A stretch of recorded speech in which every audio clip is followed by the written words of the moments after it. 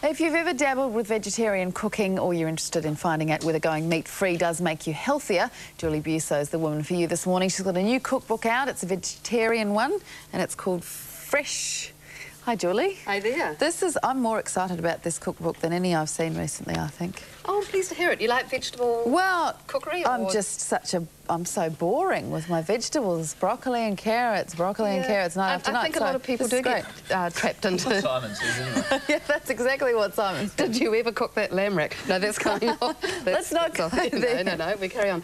Uh, yeah, I think a lot of people with vegetables, they tend to get into that rut, particularly in winter, and they go into the shop, whatever it is, and they just see the same things, potatoes, kumaras, pumpkin, broccoli, and they don't kind of look beyond that or think of, of what they could do that adds a little bit of excitement. So the idea of this book really is to yeah, I cover a lot of the basics, and I think you need to do that in a vegetable book. But it's a bit of inspiration there as well. I mean, I've got things, for instance, you just flicked past hot cucumber.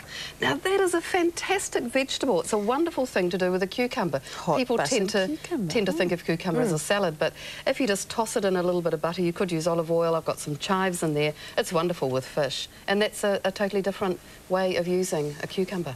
Speaking of fish, this is not a totally vegetarian cookbook, is it? No, no, it's not. Uh, it's got a little bit of bacon and a couple of soups, but uh, and I do recommend some meat things to go with with some of the vegetable dishes. But its strength is it is a vegetable And cookbook. there's a uh, smoked fish, a lovely smoked fish. Uh, yeah, fish cakes are wonderful. cakes, yeah, they are beautiful. Hot salmon fish cakes. And they're in there because, of course, the basis of them is potato and there's lovely avocados in there, a little bit of chilli and fresh lime. They're actually the best fish cakes that I've ever eaten. I mean, if I can say that So about if I do own- say so Am I say that about my What own have you got here in front of us this Uh, morning? Two things from the, the book.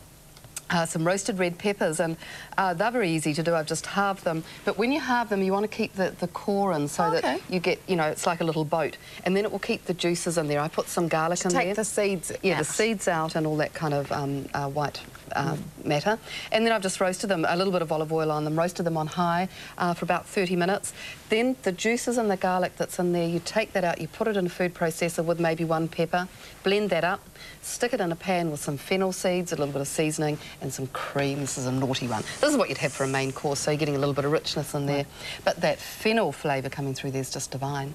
And potato and asparagus salad, and that's really good for this time of year because asparagus are, of course, just at their peak. And I've got purple asparagus in there. Mm. And the herb on top is? I've got lots of mint, fresh mint in there because that's growing wonderfully well at the moment. I mean, you just look out your garden and if you've got any herbs there, they should be flourishing at this Yeah, time of year. there's butter on there as well? Oh, there's no butter on those Oh, potatoes. really? Oh, no, no, no.